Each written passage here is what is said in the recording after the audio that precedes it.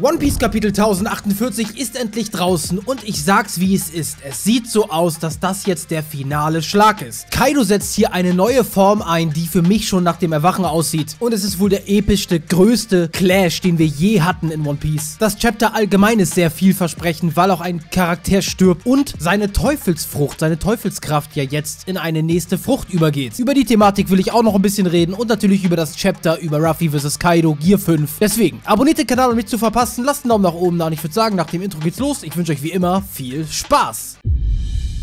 One Piece Theoretiker, One Piece Theorien und mehr.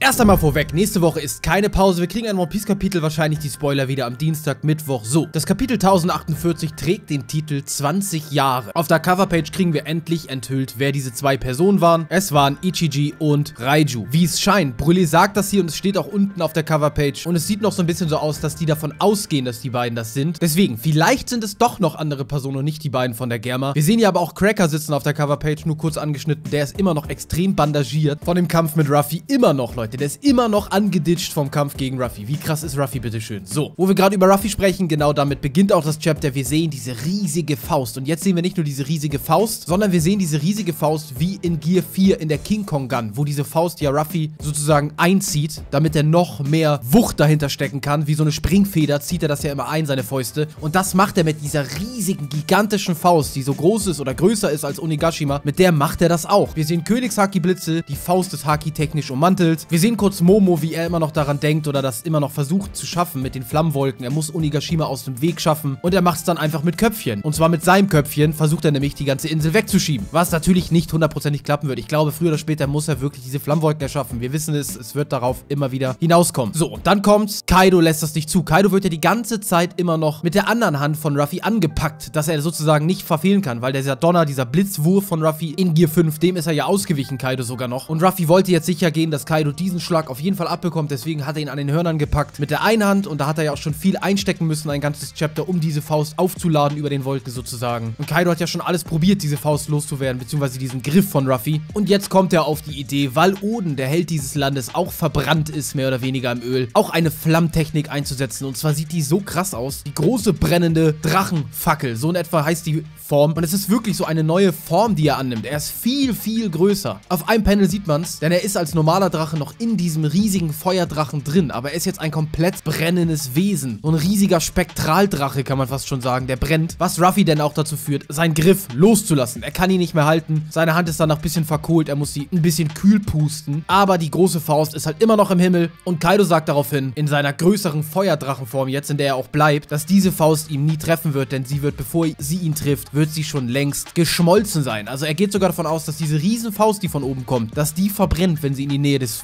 Feuerdrachen kommt. Denn wir sehen ja auch als Beispiel, dass er in dieser Form ein bisschen dieses Horn von Onigashima von der Insel, das andere Horn, was äh, Zoro noch nicht abgeschnitten hat, dass er das berührt mit seinem Schweif und das schmilzt dahin wirklich, als wäre es ein heißes Messer durch Butter oder keine Ahnung, es ist geisteskrank, wie heiß Kaido in dieser Form ist. Aber Ruffy kommt dann direkt mit dem Kontergedanken und zwar hat er ja im Udon-Gefängnis hier auf Wano Kuni von dem alten Hyogodo, dem alten Typen, der ja damals dieser Yakuza-Anführer war, von dem hat er gelernt, Gegner anzugreifen, ohne sie zu berühren. Mit dieser Aura, mit dem Ryo-Haki, wie es in, Wano genannt wird. Und das will er jetzt auch noch auf diese riesige Faust anwenden. Überlegt mal, Ruffy ist in Gear 5, er hat seine Teufelsfrucht erweckt. Er ist ein Gott. Er benutzt einen Angriff hier jetzt auch. Diese riesen Faust, die er eingezogen hat, die er jetzt gegen Kaido haut, die heißt Monkey God Gun. Also es klingt schon fast wie der krasseste Angriff aller Zeiten. Plus, es ist Haki ummantelt. Es ist mit Königshaki-Blitzen und noch dieser Aura. Also es ist ja wirklich alles alles, was Ruffy hier an Power-Ups bekommen hat in diesem Arc, reingesteckt in einen Angriff. Und Kaido greift hier einfach mit seinem Gesicht an, natürlich. So, es brennt zwar alles so und er hat auch wahrscheinlich irgendwie seine Aura da drum, denn die Fäuste und diese Zähne von Kaido, sein Gebiss und so, die berühren sich nicht ganz. Es ist kurz davor. Ruffy ist ziemlich dicht dran, gefährlich dicht dran, dass er sich sogar mit der anderen Hand schützen muss und das Gesicht zukneift und so, weil es einfach zu krass ist. Zu heiß wahrscheinlich. Und es ist auch ein riesen Clash. Also es ist ein riesen Knall, der in der Luft stattfindet, kann man fast schon sagen. So, und dann geht es erstmal weg von diesem Geschehen. Dieser riesen Clash mit mit dieser riesen Faust und Kaido wird einfach offen zurückgelassen. Dass wir erstmal sehen, was geht unten ab. Lysop, Kinemon, Kiku und Kawamatsu und wir kriegen ja nochmal ein Flashback, was vor 20 Jahren war, wie Oden gestorben ist. Allgemein kriegen wir in diesem Chapter so einen übertrieben geilen finalen Flashback. Also für mich wirkt es final. Es kann ja sein, dass das wieder ein Flashback von 50 ist, der jetzt noch kommt, aber es ist ja wirklich die komplette Geschichte. Odens Tod nochmal grob zusammengefasst. Alles. Also wirklich vom Zeitpunkt, wo Oden den Kopfschuss kriegt, ins Öl fällt, wie sie dann flüchten, wie Kaido, Orochi, wie sie dann noch versuchen, die restlichen dort im Land zu, zu finden, wie sie das verbrennt, verbrannte Schloss Oden dann noch finden, sozusagen, ohne die Leichen von Momo und alles. Aber auch die letzten Daimyos, wie Yasui oder auch Ushimaru Shimotsuki, der auch ja damals der Herrscher von Ringo war, die versucht er auch noch alle auf seine Seite zu ziehen. Die, lassen das natürlich nicht zu, die bleiben Oden treu, der Familie Kozuki, und kämpfen dann auch nochmal gegen ihn. Dann sehen wir auch die einzelnen Schicksale von dem Land allgemein. Fabriken werden hochgezogen, es gibt kein sauberes Trinkwasser mehr. Hier so eine Mutter mit Kind, völlig dürr, in der prallen Sonne, klappt die zusammen und so. Und man sieht wirklich die einzelnen Schicksale von Wano Kuni, wie schlimm die Auswirkungen von Kaido Orochi waren und sind immer noch. Und dass die einzige Hoffnung, diese eine Prediction von Toki ist, die Prophezeiung, mit in 20 Jahren ist, wird dieses Land befreit, da kommt der Retter des Landes sozusagen. Diese einzige Hoffnung haben sie noch im Kopf. Und auch das mit den Smile-Früchten wurde nochmal gezeigt. Orochi wurde hier gezeigt die ganze Zeit. Und Orochi wird dann gezeigt, wie er lacht. Plus, wir kriegen einen heftigen Schwenker in die Gegenwart, wo wir ihn nochmal sehen. Sein letzter Akt von Orochi. Ich glaube, es ist wirklich jetzt das Ende. Ich glaube, nach diesem Geschehen ist Orochi wirklich jetzt für immer weg. Es sei denn, er hat irgendwo noch einen kleinen verkrüppelten Kopf oder so, der nicht abgeschnitten wurde. Aber das ist der letzte Kopf. Er brennt. Er will Hiyori nochmal mitnehmen in der Gegenwart jetzt. In Onigashima. Dann kommt aber Denjiro, schneidet ihn den Kopf ab, stellt sich vor Hiyori und damit sollte das Ganze vorbei sein. Wirklich, ein nerviger Antagonist, der eigentlich nichts Richtiges gezeigt hat. Hier und da mal einen klugen, taktischen Schachzug. Okay, das gebe ich ihm noch. Aber ansonsten war der nur nervig. Man hat ihn wirklich gehasst und da muss man sagen, good job, Oda, weil genau das ist auch die richtige Rolle für Orochi. Und die Teufelsfrucht letztendlich mit diesen ganz vielen Köpfen, die immer abgeschnitten werden und sowas. So Hydra-mäßig wirklich, wenn man nicht alle Köpfe abschneidet, dann ist das Wesen nie tot. Finde ich auch ganz nice gemacht so. Das gibt dem Ganzen dennoch wirklich ein bisschen die Logik, warum er immer wieder da war, immer wieder aufgetaucht ist, Orochi. So einfach wegen der Frucht, wegen den Köpfen. Die Frage ist jetzt natürlich, wenn er als Teufelsbenutzer stirbt, wird halt die Seele der Teufelsfrucht hier auf Wano Kuni höchstwahrscheinlich oder Unigashima sogar in irgendeine Frucht reingehen und dann gibt es dort eine neue Teufelsfrucht. Und ich bin gespannt, ob wir nach diesem ganzen Krieg, mal gucken, wie viele echte Teufelsbenutzer da gestorben sind oder weiß man halt nicht genau, kann man vielleicht nochmal überprüfen, aber ob es dann vielleicht Teufelsfrüchte gibt, die wir endlich mal sehen, dass die Strohpiratenbande mal irgendwie Teufelsfrüchte findet oder eine findet dann und mal gucken, was die denn damit machen. Ist jemand die, ist irgendein Verbündeter aus der Allianz die oder von jetzt Wano Kuni, ein Wano Kuni Charakter ist der die Teufelsfrucht von Orochi. Verkaufen sie die oder man weiß es ja nicht, Leute. Ich glaube nicht, aber es wird auf jeden Fall die eine oder andere Teufelsfrucht nach diesem ganzen Krieg hier frei werden. So, und dann ganz am Ende sehen wir nochmal den Überclash. Ruffy versus Kaido. Man sieht es nicht ganz genau, man sieht nur die beiden Gesichter. Man sieht, Kaidos Mund ist zu auf einmal. Also es ist nicht mehr der Clash, wie es scheint, der am Anfang des Chapters noch hier war, sondern die beiden sind ein bisschen zurückgegangen. Aber Ruffys Faust ist noch nicht erloschen. Ich glaube, Ruffys Faust ist immer noch oben am Himmel. Es ist immer noch dieser eine Angriff, den er hat sozusagen, der ihn ja noch nicht richtig ausführen konnte, weil halt die ganze Zeit das so ein Haki-Aura-Clash ist sozusagen. Und eigentlich geht es ja dann darauf hinzu, dass einer dem Ganzen nicht mehr standhalten kann, dem anderen klar unterliegt dann und dann kann der andere Angriff vollendet werden bei dem anderen Charakter, der nachgegeben hat. So ist es normalerweise in One Piece oder in allgemeinen Mangas oft und ich glaube, hier wird es auch so sein, dass sogar das Haki von Ruffy am Ende Kaidos überliegt. Das könnte ich mir sogar vorstellen, deswegen schreibt mal eure Meinung zu dem Kapitel in die Kommentare. Also ich fand es wirklich ein gutes Kapitel, auch nochmal so zusammenfassend, was wirklich hier in diesem Land passiert ist. Und es gehen natürlich die ganze Zeit parallel zu diesem Schlagaustausch, zu diesem Überclash, den die beiden haben. Diese Laternen von der Blumopstadt, von den Leuten in den Himmel, wo halt draufsteht wie Lass Orochi endlich äh, verschwinden und gib uns endlich einen Schluck frisches Wasser. Und der Clash wirklich im Himmel. Es sieht so krass aus, wirklich. Ich bin einfach nur gespannt. Nächstes Chapter wird extrem interessant. Ich hoffe, es geht direkt da weiter. Orochi ist jetzt weg,